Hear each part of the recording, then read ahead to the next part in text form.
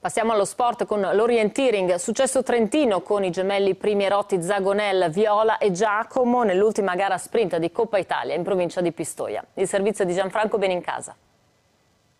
Con le gare di doganancia stazione sciistica dell'Appennino in provincia di Pistoia cala definitivamente il sipario sulla mini stagione dell'orientamento causa pandemia e il finale regala una splendida affermazione nella gara sprint ai fratelli Zagonel, trentini del Primiero. Viola, polisportiva Masi, col tempo di 17 primi e 53 secondi, ha vinto tra le ragazze. Giacomo, Unione Sportiva Primiero, in 18,37 ha sbaragliato la concorrenza in campo maschile. È la prima volta da quando gareggiano in Elite che i due gemelli salgono sul gradino più alto del podio contemporaneamente. Davvero un risultato incredibile. La prova, che ha visto al via 450 concorrenti, si è svolta nel massimo rispetto della normativa anti-Covid. Al secondo posto, tra i maschi, Sebastian Inderst, PVT Italia in 19.02 e poi Michele Caraglio, Agorosso, col tempo di 19.28. Quarto, un altro trentino, Fabiano Bettega, GS Pavione. Tra le donne, con un certo divario, sono salite sul podio le altoatesine Cristine Kirchlechner, Merano e Verena Troi, Terlano. Vincere è sempre bello e farlo con mio fratello gemello ancora di più.